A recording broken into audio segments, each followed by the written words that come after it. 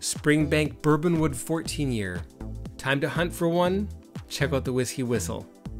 Hey everybody, why don't you come with me to the Scottish Highlands? It's gonna be a blast.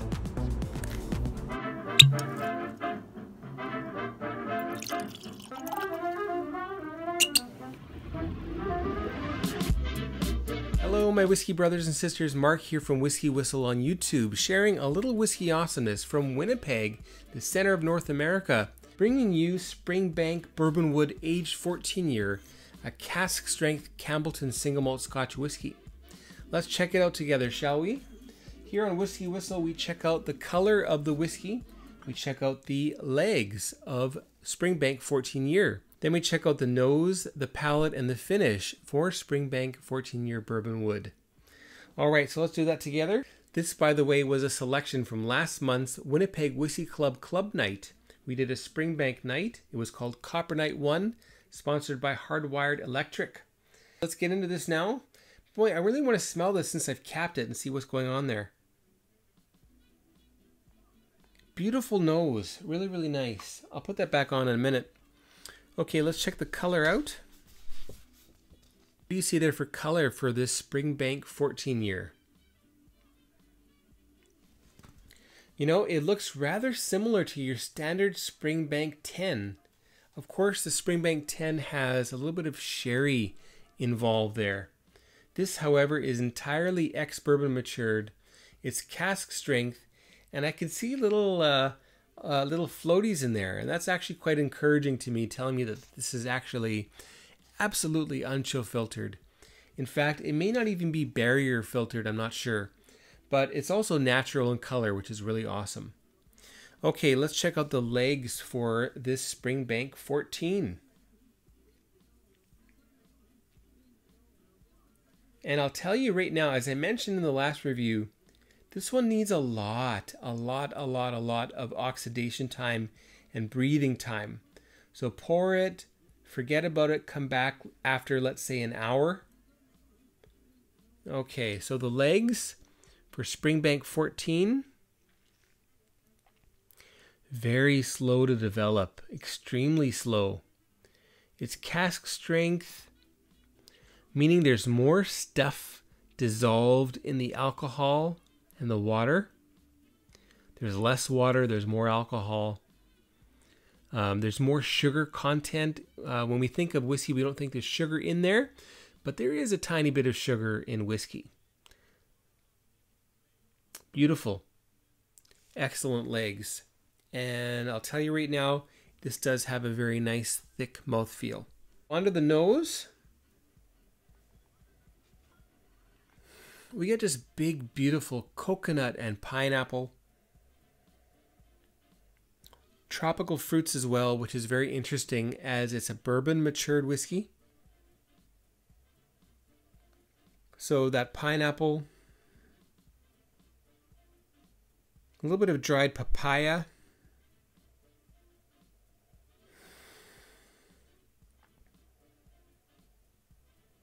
Icing sugar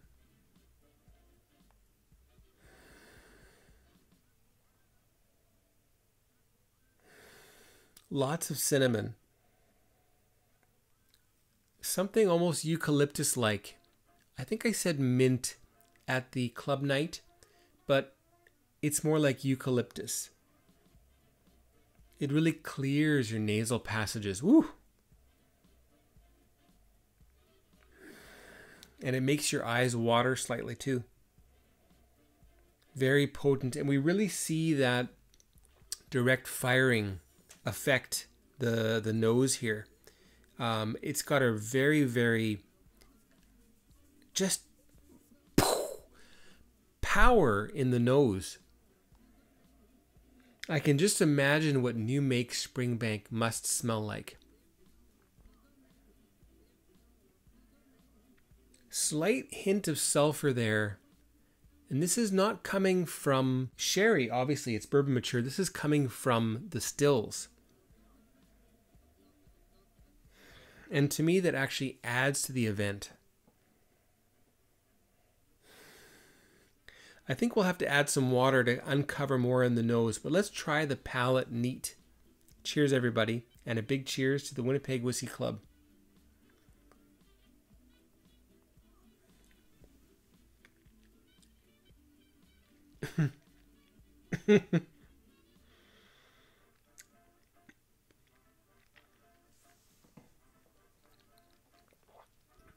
oh, so potent.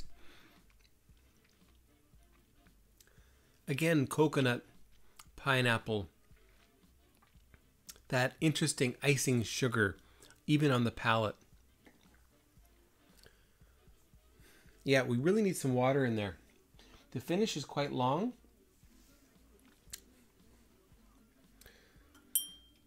Coconut sugar. I'm going to put one. I'm going to put two. And a little bit. So that's going to be about three, not quite, two little, little more than two milliliters added there. Okay, I'm going to let that sit for just a minute. And I'm going to go back to the 10, Springbank 10, just to compare now that we're sitting here. Sweeter, grassier. That's something coming from that sherry uh, casks, or even the, maybe even just be the staves. It could be like a Frankenstein cask. I think that's some first fill or second fill, probably second fill sherry going on there.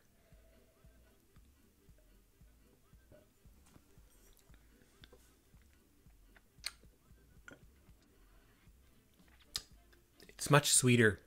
This is a much drier, very different, very different Springbank. Probably Springbank enthusiasts, they may not like this bourbon wood because of the fact that it's actually so different. I noticed the ratings for this though on um, some of the big websites are actually quite high. With water, I get a little bit of um, oak varnish.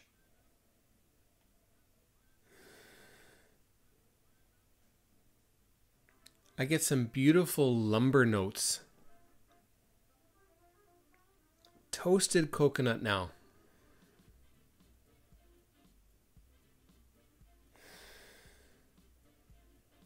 That little dash of salt. It's still, however, a very, very potent nose, and I'm going to go ahead and add just a little bit more because I know that it needs it. And this is what I noticed um, at the club night as well, was that this was just a very thirsty, thirsty whiskey.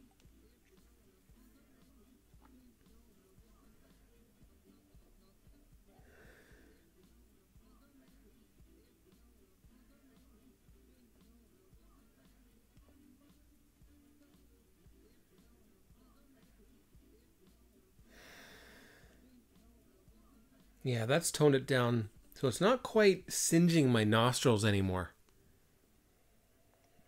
It's a really angry malt in the beginning. So that's what I mean. That's what I mean by you have to really leave it behind for a while in your glass and then adjust it with water to your liking. I've added, I guess, about three, three and a half milliliters of water. Um, you may want to add only a couple of drops. You may want to just drink it neat if you're a purist, and I know there are some.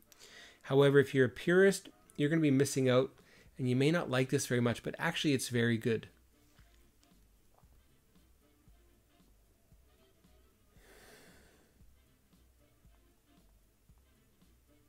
Some gooseberries, underripe ones.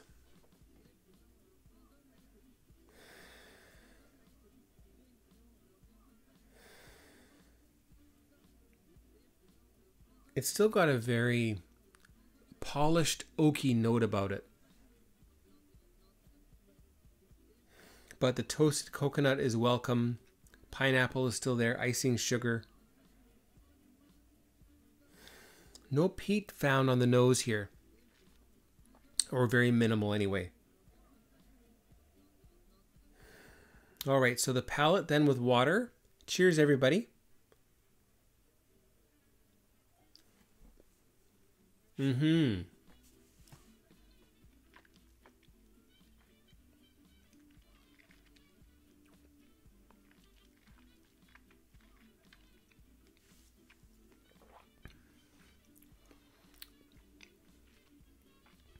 underripe pineapple, some fresh young coconut, icing sugar, and I tell you, it needs more water. So we're now up to about four milliliters of water added. And that was probably about 20 milliliters to start. So we're going to see this cloud up very quickly.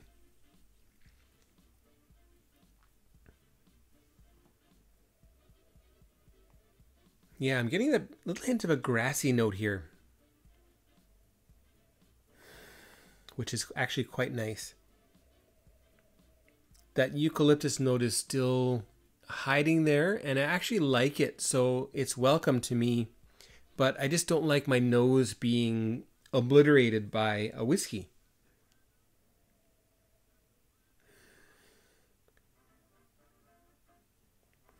Smell very uh, use your nose very delicately with this.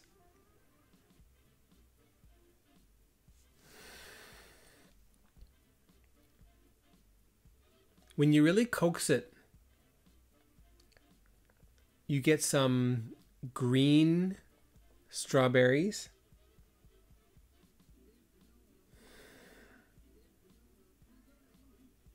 Some very firm blueberries, even.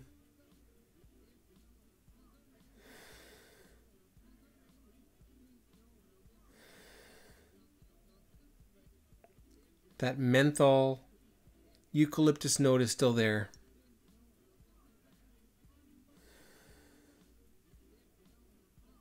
Pineapple, especially pineapple skins.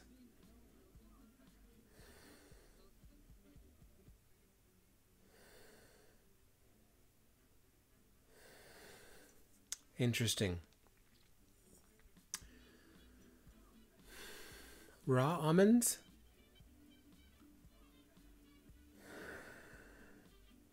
almond skins.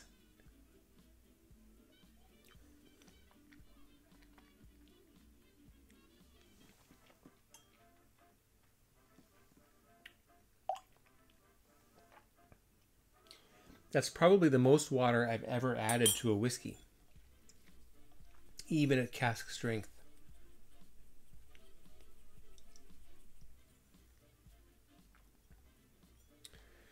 And we're definitely getting cloudy there.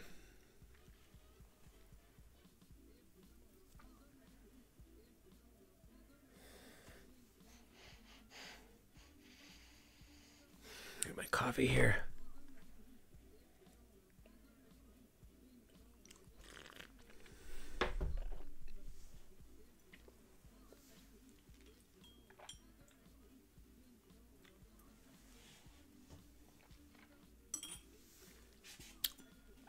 You do what you got to do, right? Okay.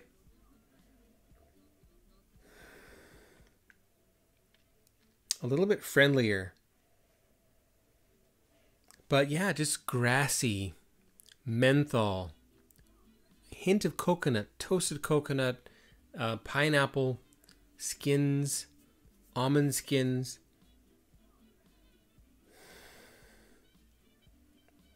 That um, polished oak scent.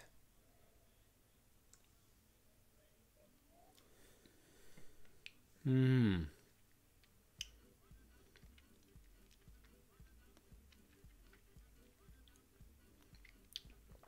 A little juicier on the palate. Young coconut.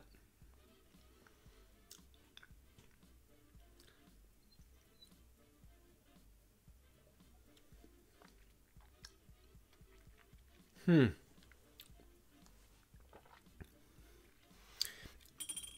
It's very interesting. But you know, the funny thing with this is it just really takes a lot of water. And I don't think many people will have the patience to do what I'm doing.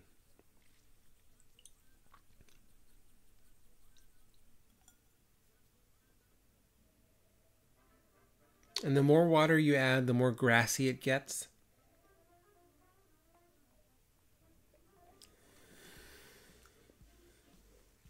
Mm. And it really brings about that subtle sweetness. Makes it a little bit more accessible to unlock some of those flavors that are in there. But a very different Springbank. And it didn't really float my boat at the whiskey club night. And I'm I feel not bad with it now. But well, I guess the best way to express this is by letting you know the Whisky Whistle Whiskey score for Springbank 14. What's that going to be? Well, folks, the Whisky Whistle Whiskey score for Springbank 14 Bourbonwood, 55.8% ABV cask strength.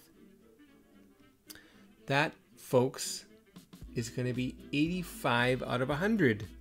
Yep, you heard it. 85 out of 100 is the Whisky Whistle Whiskey score for this very unusual, very challenging Springbank. And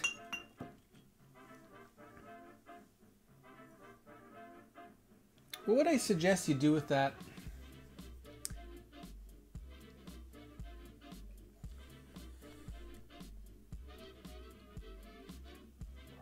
Aerate it add some water.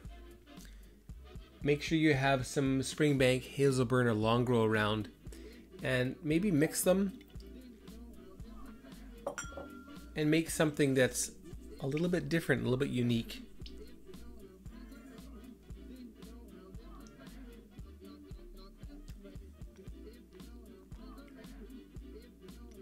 Hmm. Well, that's very pleasant it kind of corrects the not that they're errors, but it just fills in some missing boxes for that Springbank 14. And this is an interesting case where I think most people will prefer the 10 year old to the 14, and only a few very unusual palates will really enjoy this unusual Springbank that's my two cents for that one. Hope you enjoyed that. Let me know your thoughts of Springbank 14 if you've tried.